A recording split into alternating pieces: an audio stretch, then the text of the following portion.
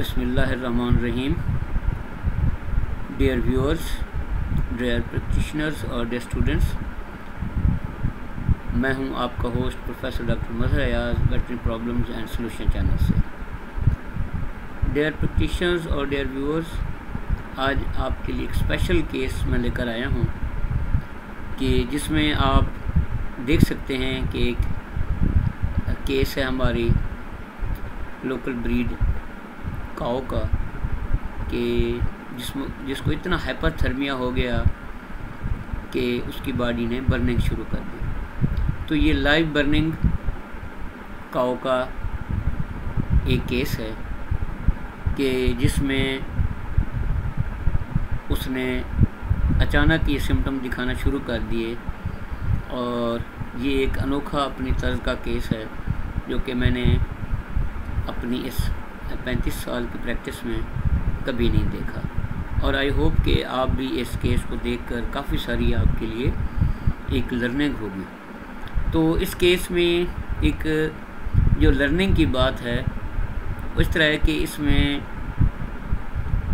एक पेशेंट ने आ, मुझे कॉल की और बताया कि उसका जो बॉडी है एनिमल की उसका जो के पेशेंट है उसकी बॉडी से धुएँ निकल रहे हैं और उसकी बॉडी जो फिज़िकली बर्निंग की तरफ़ है।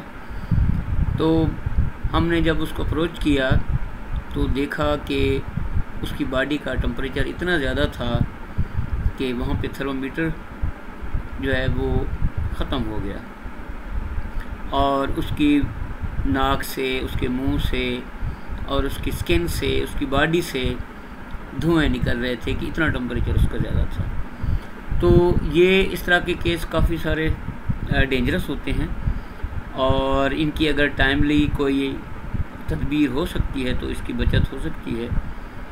अदरवाइज़ इस तरह के केसेस में एनिमल की डेथ हो जाती है। अब होता क्या है कि जब बॉडी टेम्परेचर हाई होती है तो हमारी बॉडी का जो थर्मो रेगुलेटरी सिस्टम है हेपोथैलमस में वो डिस्टर्ब हो जाता है डिस्ट्रॉय हो जाता है।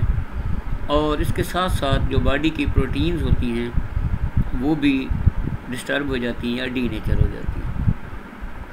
बॉडी में जो वेरियस एंजाइम्स हैं, जो उसके वेरियस जो हार्मोन्स हैं, वो भी इस हाई टेम्परेचर के ऊपर ख़त्म हो जाते हैं। पूरे का पूरा बॉडी का विशेष साइकिल जो है वो इसमें डिस्टर्ब हो जाता है और उसके जो डिफरेंट बॉडी मैकेनिज़म्स हैं, वो डिस्ट्रॉय हो जाते हैं। तो इस तरह के केसेस जब आप देखते हैं तो आपके पास ऑप्शंस होती है कि इसके ऊपर कोल्ड वाटर एप्लीकेशन की जाए, या इसको इन्फ्यूजन दिया जाए, या इसको इंट्रावीनस जो है, वो फ्लूड थेरेपी दी जाए। तो इस तरह के केसेस में आम तौर पर जो प्रोग्नोसिस होती है, वो गार्डेड होती है और इसमें जो काफ़ी सारे डेथ के चांसेस हैं, वो इसमें ज़्यादा होते हैं। तो ये अपनी नवीयत का एक अनोखा केस था। तो मैंने कहा कि आप लोगों के साथ शेयर करें ताकि हो सकता है किसी भी जगह पर आप इस तरह का केस देखें और फिर उसको शेयर करें या मेरे साथ शेयर करें। तो काफ़ी सारी इसमें लर्निंग होती है। क्योंकि इस तरह के रेयर केसेस होते हैं और बल्कि यूनिक केसेस होते हैं जो कि बहुत कम देखने को मिलते हैं। मैंने अपने काफ़ी सीनियर के साथ भी इसको मशवरा किया। आज इनकी तकरीबन पचास साल से ज़्यादा की इस फ़ील्ड में सर्विस है ऑब्ज़रवेशन है और वो प्रैक्टिस कर रहे हैं अभी भी, माशाल्लाह। तो उन्होंने भी इसमें लाइलमी का इजहार किया। और उनकी इन्फॉर्मेशन के मुनासबत से ये था कि इस तरह के केसेस उन्होंने अभी तक नहीं देखे।